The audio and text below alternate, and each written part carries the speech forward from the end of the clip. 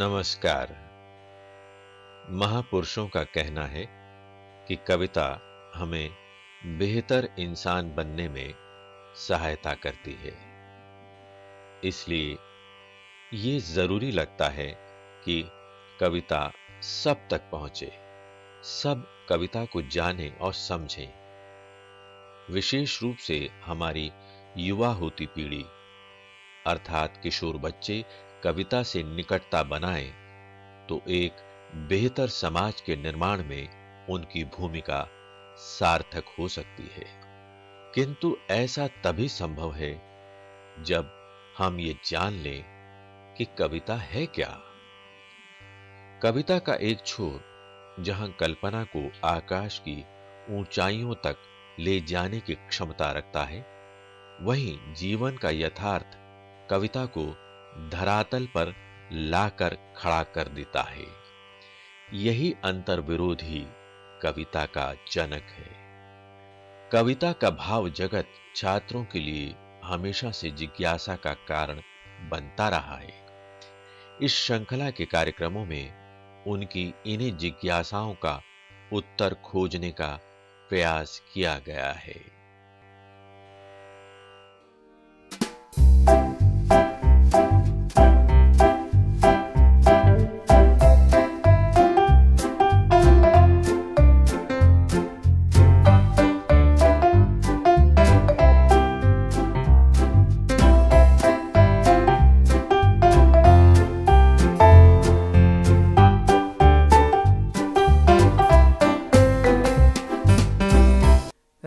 ठाकुर की यह कविता मूलतः बंगला में लिखी गई थी।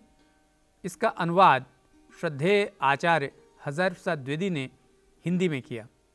इस कविता के अंदर परंपरा और आत्मसंबल के तत्व मौजूद हैं, जिससे कि मनुष्य का आत्मबल बढ़ता है। इस कविता पर और बातचीत करने के लिए हमारे साथ उपस्थित हैं प्रोफेसर लालचंद राम। डॉक्टर लालचंद, आपका बहुत बहुत स्वागत है इस कार्यक्रम में। नमस्कार। नमस्कार। धन्यवाद। डॉक्टर साहब इस कविता को समझने से पहले क्या ही अच्छा हो कि हम कवि रविन्द्रनाथ ठाकुर का संक्षिप्त जीवन परिचय प्राप्त कर लें? बिल्कुल ठीक। रविंद्रनाथ ठाकुर बंगाल के रहने वाले थे। जी। बंगाल में कोलकाता के निकट हम्म हम्म, जोड़ा साकों ठाकुरबाड़ी में जी। सात मई 1861 को उनका जन्म हुआ। अच्छा। चूँकि रविंद्रनाथ ठाकुर संपन्न परिवार से थे हम्म। और अपने माँ बाप की तेरहवीं संतान थे। जी। इसलिए उनकी शिक्षा दीक्षा का समुचित उपाय हम्म। उनके घर पर ही हुआ। अच्छा। घर पर ही बहुत सारी भाषाओं और विषयों पर उन्होंने पूर्ण अधिकार प्राप्त कर लिया। हम्म हम्म, 1878 में ला की पढ़ाई के लिए उन्हें यूनिवर्सिटी कॉलेज ऑफ़ लंदन में भेजा गया अच्छा। और वो परीक्षा छोड़ करके वापस चले आए। अच्छा। उसके बाद फिर वो देश में ही रहे और अध्ययन अध्यापन की अपनी पुरानी परंपरा जो थी उसमें लगे रहे। हम्म हम्म, रविंद्रनाथ ठाकुर भाषा साहित्य संस्कृति संगीत। संगीत चित्रकला के क्षेत्र में जी। बड़े नाम हैं हाँ। वैश्विक स्तर के नाम हैं। जी। संगीत की दुनिया में तो कई हज़ार गीत लिखे कई हज़ार कविताएँ लिखें और संगीत की दुनिया में ऐसा नाम उनका हुआ कि उन्हीं के नाम पर रविंद्र संगीत बन पड़ा उनके गीतों की खुद भी उन्होंने संगीतबद्ध जी किया हाँ। जी हाँ क्योंकि वो लोक संस्कृति से इतना जुड़ाव होने के जी, कारण जी, लोक में जो रची बसी धुन थी हम्म, हम्म। उसके आधार पर उन्होंने रविंद्र संगीत का नाम दिया और आज पूरे देश में रविंद्र संगीत और रविंद्र नाट्य विद्यालय के नाम से हम्म, हम्म। देश में संस्थाएँ खुल गई हैं जो रविंद्र संगीत और उसकी दुनिया में फल फूल रही हैं। हम्म। चित्रकला के भी प्रेमी थे। जी। रविंद्रनाथ ठाकुर एक ऐसे कवि हैं जो भारत में भी उतने ही सम्मान के साथ जाने जाते हैं उतना ही बांग्लादेश में भी। क्योंकि भारत में जो राष्ट्रगान है जनगण मन अधिनायक जय है भारत भाग्य विधाता वो रविंद्रनाथ ठाकुर का लिखा हुआ है। हम्म। उसी तरह से बांग्ला में उनकी जो रचना है जो। बांग्लादेश का राष्ट्रगान बन, ब, बनी हुई है वो है आमार सोनार बांग्ला। हम्म हम्म। ये भी इन्हीं का प्रसिद्ध गीत इन्हीं है। का प्रसिद्ध गीत है और ये दोनों जगह राष्ट्रगान के रूप में गाया जाता है। क्या बात है। 1919 में जब जलियांवाला कांड अंग्रेज़ों ने किया था जिसमें हमारे देश के बहुत सारे लोग मारे गए थे जी। अंग्रेज़ों ने 1915 में उनको नाइटहुड की उपाधि दी थी। अच्छा। और जलियांवाला कांड की घटना से विक्षुब्ध होकर के हम्म, 1919 में उन्होंने वह उपाधि लौटा दी। अच्छा। जी। हम्म, और रविंद्रनाथ ठाकुर को गीतांजलि नामक जी, रचना पर नोबेल पुरस्कार प्राप्त हुआ। जी जी जी जी। और इससे वे अंतर्राष्ट्रीय ख्याति के साहित्यकार। अंतर्राष्ट्रीय की- इसलिए कि एशिया में जी। साहित्य पर गैर यूरोपीय व्यक्ति को पहला नोबेल प्राइज दिया गया। हम्म। इनकी बहुत सारी महत्वपूर्ण रचनाएँ हैं। जी। नैवेद्य हम्म हम्म। पूर्वी बलाका क्षणिका अच्छा। चित्र और सांध्य गीत काबुली वाला इसी तरह से उनके उपन्यास हैं बड़े मशहूर उपन्यास हैं। जी। गोरा घरे बाहरे बहुत सारी विधाओं में उन्होंने लेखन कार्य इनकी रचनाओं के तो अनेक भाषाओं में अनुवाद हुए हैं। भारतीय भाषाओं में भी और, और यूरोपीय भाषाओं में भी। सब भाषाओं में कवि गुरु कहलाए हाँ, इसीलिए संभवतः। लोगों ने बताया कि अ, ये सर्वविदित है सब जानते हैं कि गीतांजलि को अंग्रेज़ी में हम्म, अ, भेजा गया था। अंग्रेज़ी अनुवाद या अंग्रेज़ी उनकी मौलिक रचना थी गीतांजलि जिसको जिसके ऊपर नोबेल प्राइज मिला था। क्या बात है। तो ये भाषा साहित्य के और हमारे देश की गौरव गाथा में रविंद्रनाथ ठाकुर का एक बहुत बड़ा स्थान है। 1937 में वो बीमारी के कारण या कैसे अचेत हो गए और 1941 में उनका देहावसान हो गया। हाँ, इस। तरह से रविंद्रनाथ टैगोर साहित्य संगीत चित्रकला की दुनिया में एक बड़ा नाम है। वो वाह डॉक्टर साहब आपने बहुत अच्छा परिचय रविन्द्रनाथ ठाकुर का दिया। अब मैं जो पाठ्यक्रम में गीत लगा हुआ है जी। उसका पाठ करूँगा उसके बाद फिर उस पर बातचीत करेंगे। बिल्कुल ठीक है बिल्कुल शीर्षक है आत्मत्राण। विपदाओं से मुझे बचाओ, यह मेरी प्रार्थना नहीं। केवल इतना हो करुणा में, कभी न विपदा में पाऊँ भय। दुख ताप से व्यथित चित्त को न दो सांत्वना, नहीं सही, पर होवे, इतना होवे करुणा में, दुख को मैं कर सकूँ सदा जय। कोई कहीं सहायक न मिले तो अपना बल पौरुष न हिले हानि उठानी पड़े जगत में लाभ अगर वंचना रही तो भी मन में न मानू क्षय। मेरा त्राण करो अनुदिन तुम यह मेरी प्रार्थना नहीं बस इतना होवे करुणामय तरने की हो शक्ति अनामय। क्या बात है। मेरा भार अगर लघु करके न दो सांत्वना नहीं सही केवल इतना रखना अनुनय वहन कर सकूँ इसको निर्भय।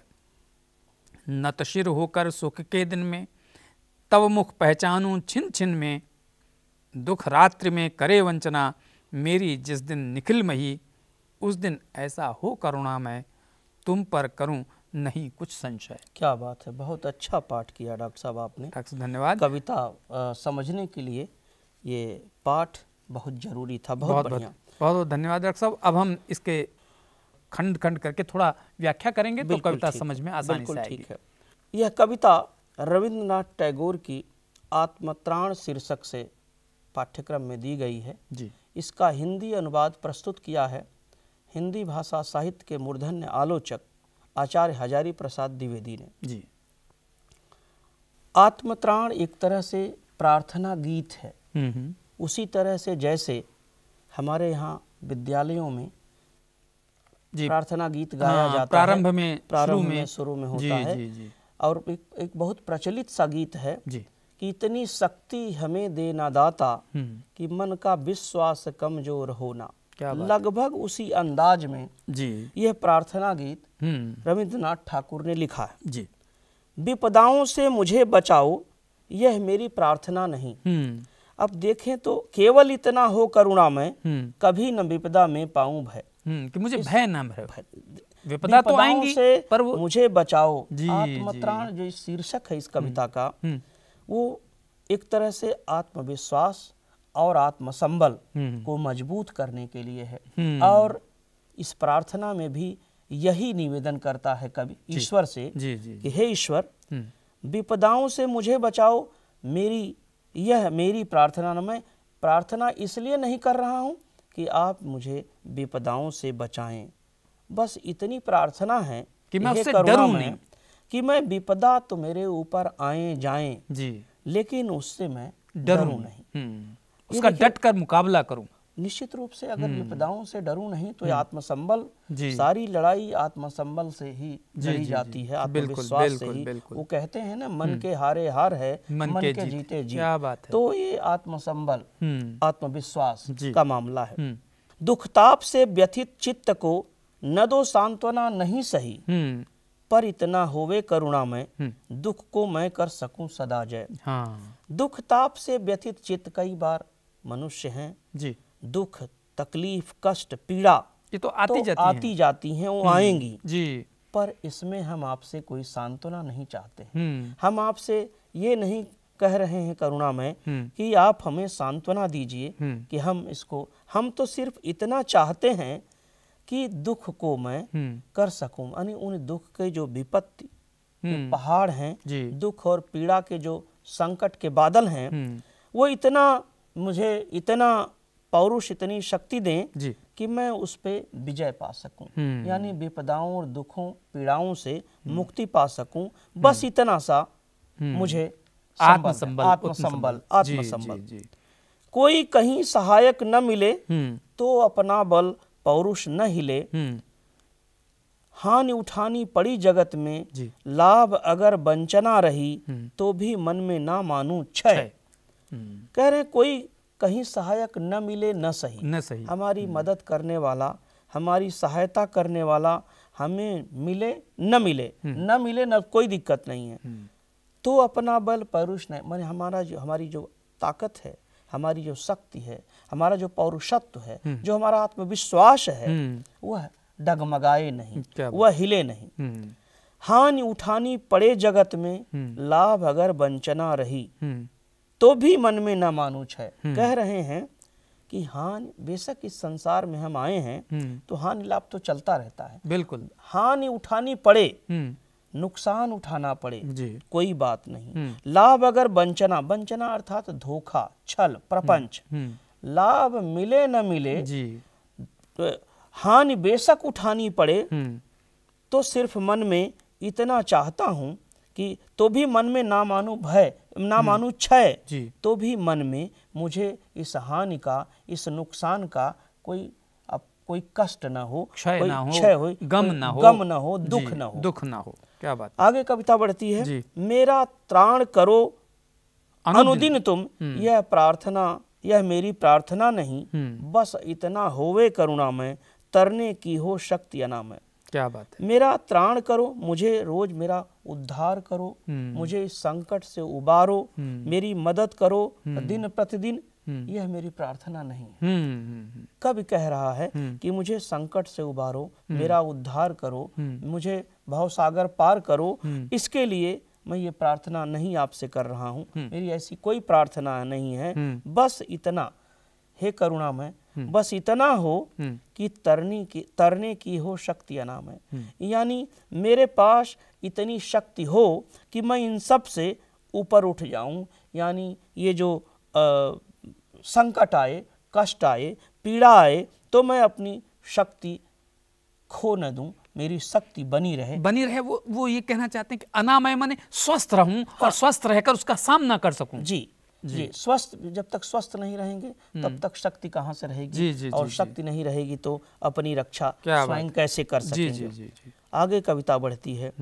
मेरा भार लघु करके न दो सांत्वना नहीं सही हम्म। केवल इतना रखना अनुनय हम्म। वहन कर सकूँ इसको निर्भय। मेरा भार अगर लघु करके मेरे ऊपर जो विपत्ति और संकट के भार हैं हम्म। उसको कम कर दो हम्म। या उसके लिए कोई सांत्वना मुझे न दो हम्म। न सही। हम्म। मैं ये नहीं कह रहा हूँ हे करुणा में कि मेरा भार आप छोटा कर दो मेरे ऊपर कष्ट और विपत्ति के संकट के जो भार हैं जो बोझ हैं उनको हल्का कर दो। पर इतना तो चाहता हूँ हे करुणामय कि तरने की हो शक्ति अनामय। जो निरंतर मेरे पास इतनी शक्ति हो कि मैं इन संकटों इन मुसीबतों से इन विपत्तियों के पहाड़ को मैं पार कर सकूँ उस पर विजय हासिल कर सकूँ और मेरी शक्ति मुझमें इतना आत्मशक्त आत्मविश्वास हो कि मैं उससे बाहर निकल सकूँ। क्या बात है। हम्म, आगे कविता बढ़ती है। हम्म। नतशिर होकर सुख नतसिर होकर सुख के दिन में तब मुख पहचानू छिन छिन में। हम्म। दुख रात्र में यस हाँ, कुछ गड़बड़ हो रहा। ये नहीं वो ऊपर पहले ऊपर चला गया था। निर्भय छोड़ हाँ। छोड़ रहे थे। एक लाइन छोड़ दिया था हमने। हाँ। हाँ जी। ठीक ठीक ठीक। हाँ बताइए प्रभु। नहीं नहीं वो ठीक है मैं जानता हूँ। हाँ। हम्म तो ये जो अनुनय कर रहे हैं जी। कि मुझे निर्भय बनाने की वो करें कृपा करें ये क्या कहना चाहता है इसमें? वो कवि ये कहना चाह रहे हैं कि मुझे सांत्वना न दीजिए। हाँ। मुझे संकट में कोई अ, मुझे विपत्ति में संकट में सहानुभूति न दीजिए। लेकिन मेरे पास इतनी शक्ति ज़रूर हो हे करुणामय कि मैं अपनी शक्ति से आत्मबल से उससे बाहर निकल सकूँ। और निर्भय होकर निर्भय होकर सामना। कर सकूँ। निश्चित रूप से। मेरा भा आगे कविता है वहन कर सकूँ इसको निर्भय। हम्म। फिर वही वही प्रॉब्लम फिर मैं आगे मुझे पढ़ना है मैं वहीं अटक गया हूँ। कोई बात आगे बढ़िए फिर से पूछ लीजिए। कोई बात नहीं। फिर से पूछ लीजिए कविता। हाँ। तो इसमें बार कहना चाहता है कवि कि अ, कोई बात नहीं सांत्वना चाहे न दो परंतु निर्भय होकर सामना कर सकूँ उसका। बिल्कुल तो बिल्कुल। इस- जी आगे कविता बढ़ती है। जी। नत शिर होकर सुख के दिन में जी। तब मुख पहचानू छिन छिन में दुख रात्र में करे वंचना। मेरी जिस दिन निखिल मही उस दिन ऐसा हो करुणा में तुम पर करूँ नहीं कुछ संशय। क्या बात। कवि यहाँ कहना चाहते हैं नत सिर होकर सुख के दिन में सुख के दिन में आनंद के क्षणों में जी।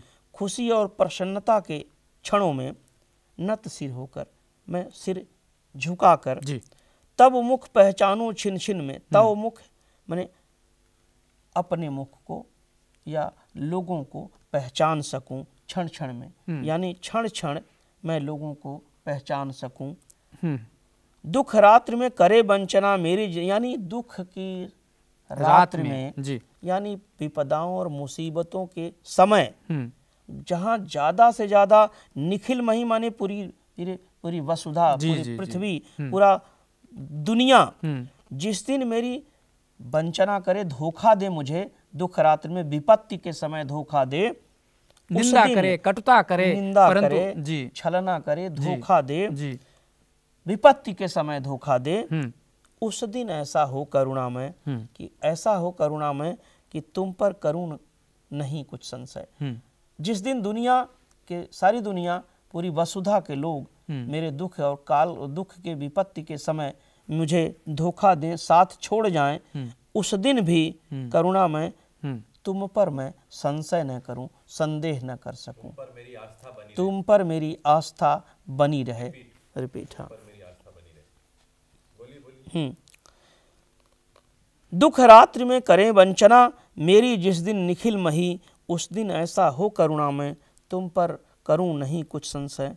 यानी जिस दिन दुनिया यानी पूरी वसुधा के लोग मुझे धोखा दे जाएँ छल करें प्रवंचना करें हम्म। यानी मुसीबत के समय दुख रात्रि में दुख रात्रि का। मतलब बिल्कुल, बिल्कुल, मुसीबत के समय। बिल्कुल, बिल्कुल। उस दिन ऐसा हो करुणामय उस दिन ऐसा हो करुणामय कि मैं तुम पर संशय न करूँ यानी तुम पर मेरी आस्था और विश्वास बना रहे।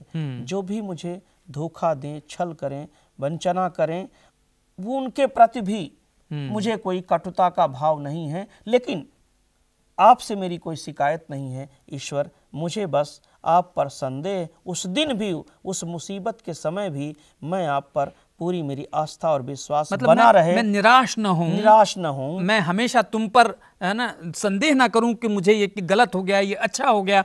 तुम पर हमेशा आस्था बनी रहे है ना और तुम तुम पर मैं हमेशा विश्वास करता रहूँ। कोई संशय पैदा ना हो ऐसा आत्मबल आप मुझे दें ये प्रार्थना संभवतः करना चाहता है। निश्चित रूप से निश्चित रूप से क्या होता है जब मुसीबत आती है परेशानियाँ होती हैं तो लोग ईश्वर को दोष देता है। जी जी यहाँ कभी ईश्वर को दोष नहीं देना चाहता। है ईश्वर के प्रति आस्था पूर्ण आस्था और विश्वास बनाए रखना चाहता है और कहता है कि चाहे दुनिया के लोग लाख मेरी निंदा करें मेरे मेरे खिलाफ खड़े हों मुझे धोखा दे जाएँ उस क्षण भी हम्म। आ, मेर, आपके प्रति मेरे मन में आस्था और विश्वास बना रहे उसमें कोई संदेह न पैदा हो। क्या बात है। मैंने कवि का ये आशय ये है। ये सकारात्मक दृष्टिकोण पैदा करने के लिए ईश्वर के प्रति आस्था रखने के लिए जी। है ना जिससे कि आदमी अपने लक्ष्य को प्राप्त कर सके। बिल्कुल, बिल्कुल। संभवतः ये कवि कहना चाहता बिल्कुल। डॉक्टर साहब आपने बहुत अच्छी व्याख्या की। बस मेरे मन में यह है कि कुछ इसका मूल संदेश अगर हमारे विद्यार्थियों को बता सकें तो अच्छा रहेगा। निश्चित रूप से। दरअसल ये कविता युवा पीढ़ी के लिए और खास तौर से छात्रों विद्यार्थियों के लिए जी। बहुत ही आशा आस्था और विश्वास को प्रमोट करती है उसको आगे बढ़ाती है उसका समर्थन करती है। इसलिए सबसे बड़ा सत्य है मानुष सत्य। बिल्कुल। मानुष सत्य की प्रतिष्ठा यह कविता करती है क्योंकि सारी समस्याओं और मुसीबतों को आदमी मनुष्य अपने आत्मबल से आत्मविश्वास से आस्था से ही उससे निपट सकता है। ईश्वर या कोई और सत्ता उससे उबारती नहीं है बस मनुष्य का विश्वास ही उसे और उसकी ताकत उसकी क्षमता उसे ऊपर ले जाती है। एक सकारात्मक दृष्टिकोण जैसे आप उदाहरण के लिए कह सकते हैं कि बेशक हमने तैराकी की शिक्षा ली है हम्म। लेकिन तैरना तो हमें पानी में खुद ही है। जी जी जी। जैसे परीक्षा के समय हम दूसरों से कितना भी ज्ञान ले लें जी। पर परीक्षा का पेपर तो हमें ही खुद है। खुद ही देना करना होता है। कुश्ती के मैदान में हम जा रहे हैं लाख हमने दाव सीखा है कोचिंग ली है। हम्म। इसके बावजूद भी लड़ना तो हमें तो जो व्यक्ति की निजता है हम्म। जो उसकी मौलिकता है जो उसकी आत्म जो उसका आत्मबल है आत्मशक्ति है जो आत्मविश्वास है वही उसकी पूंजी है और उसी को बनाए रखने की यह कविता वकालत करती है। और विद्यार्थियों के लिए छात्रों के लिए यह कविता एक सकारात्मक दृष्टि पैदा करती है। वाह डॉक्टर साहब आपने इस कविता के माध्यम से जो मनुष्य की अपनी क्षमताएँ हैं वो कैसे उनको संचित कर सकता है उस पर आस्था रखते हुए उसको आपने उद्घाटित कर दिया है। इससे निश्चय ही हमारे विद्यार्थियों का बहुत लाभ होगा। आप इस कार्यक्रम में आए आपका बहुत बहुत धन्यवाद। नमस्कार। नमस्कार धन्यवाद नमस्कार।